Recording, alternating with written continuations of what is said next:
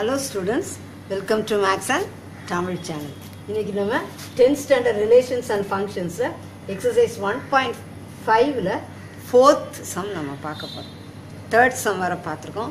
Third sum வர composite function என்ன பார்த்தோம்? Find f of g find g of f அப்படிலாம் நம்ம பார்த்தோம். இப்போ ஃபர்ஸ்ட் சம் என்ன கொடுத்துருக்காங்க?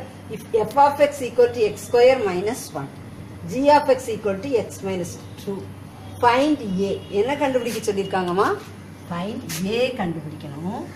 ஏ கண்டுபிடிக்கிறதுக்கு g of f of a equal to one g of f of a equal to one அப்போ நீங்கள் நினைக்கலாம் வேரியபிள் நமக்கு என்ன இருக்குங்க a g of f of a equal to one ஆனால் நமக்கு கொடுத்துருக்கிறது என்னது?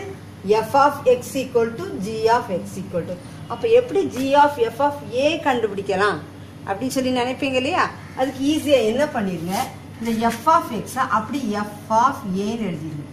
எப்படி எழுதிடுங்க f of x f of ஏன்னு எழுதுனா ஏ ஸ்கொயர் மைனஸ் ஒன் எக்ஸுக்கு பதிலாக என்ன போட்டுருங்க? ஏ எக்ஸ் ஸ்கொயருக்கு பதிலாக என்ன போட்டுருங்க? ஏ ஸ்கொயர் மைனஸ் ஒன் அதே மாதிரி ஜி ஆஃப் ஏ எக்ஸுக்கு பதிலாக ஏ அப்போ எக்ஸுக்கு பதிலாக ஏ மைனஸ் டூ புரிஞ்சிச்சா? அவ்வளோதான் இப்போ நம்ம என்ன கண்டுபிடிக்கணும்? G of f of a.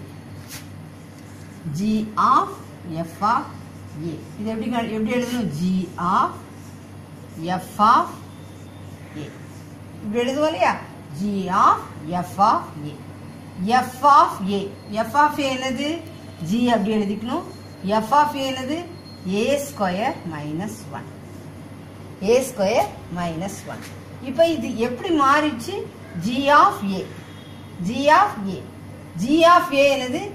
A minus டூவை அப்படியே எழுதிக்கோங்க அப்போ தான் உங்களுக்கு அது ஈஸியாக இருக்கும். ஜி ஆஃப் ஏக்கு அங்கே என்ன இருக்குது கொஸ்டினில் ஏ மைனஸ் டூ இப்போ இந்த ஏல இந்த வேல்யூவை சப்ஸ்டியூட் பண்ணலாம். அப்படி ஞாபகம் வச்சுட்டே இருந்தால் இந்த ஏல இந்த வேல்யூவை சப்ஸ்டியூட் பண்ணணும். அப்போ எப்படி வரும்? இந்த ஏக்கு பதிலாக இது. A square minus one minus two இந்த g of f of a என்னன்னு கொடுத்துருக்காங்க? ஒன் என்ன கொடுத்துருக்காங்க value that is equal to one ஒன்னு கொடுத்துட்டாங்க. புரிஞ்சிச்சா? இதனுடைய வேல்யூவே நமக்கு என்னன்னு கொடுத்துருக்காங்கம்மா? ஒன்னு கொடுத்துட்டு தான் என்ன செய்கிறாங்க ஏ கண்டுபிடிக்க சொல்லியிருக்காங்க. அப்போ a a square minus three equal to one அப்போ என்ன வந்துடும் that implies a square equal to one இந்த மைனஸ் த்ரீ இந்த சைட் போயிடும் இல்லையா? Plus three a square equal to four a square equal to ஃபோர்னா ஏயை நம்ம எப்பவும் எழுதுவோம். எப்படி எழுதுவோம்? ப்ளஸ் ஆர் மைனஸ் டூ ஏனுடைய வேல்யூ எப்படிமா எழுதுவோம்? A equal to plus or minus two இப்போ கண்டுபிடிச்சிட்டோமா? If g of f of a equal to ஒன்னுனா ஏனுடைய வேல்யூ என்ன கண்டுபிடிச்சிட்டோம்? ப்ளஸ் ஆர் மைனஸ் டூ தெளிவாயிடுச்சா? ஃபர்ஸ்ட் சப்டிவிஷன் உங்களுக்கு தெளிவாயிடுச்சு. இப்போ நம்ம என்ன பண்ணலாம்? செகண்ட் சப்டிவிஷனை நம்ம எப்படி பண்ணலாம்? அப்படின்னு சொல்லி பார்க்கலாம். செகண்ட் சப்டிவிஷன் நமக்கு எப்படி கொடுத்துருக்குறாங்க? எஃப் ஆஃப் கேன்னு கொடுத்துருக்காங்க. நல்லா பாருங்க.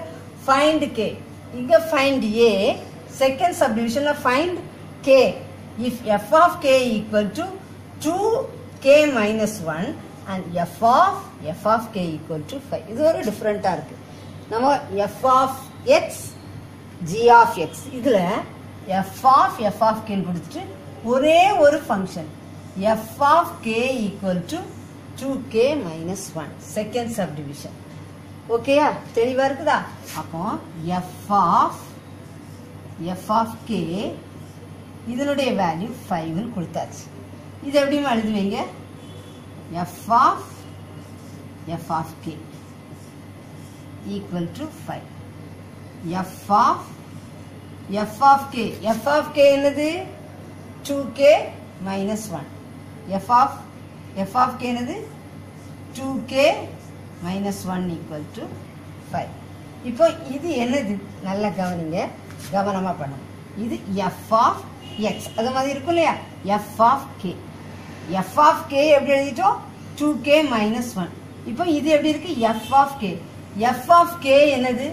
டூ கே மைனஸ் ஒன் அது எழுதிக்கோங்க. அப்போ தான் உங்களுக்கு ப்ராப்ளம் வராது உங்களுக்கு ஈஸியாக இருக்கும்.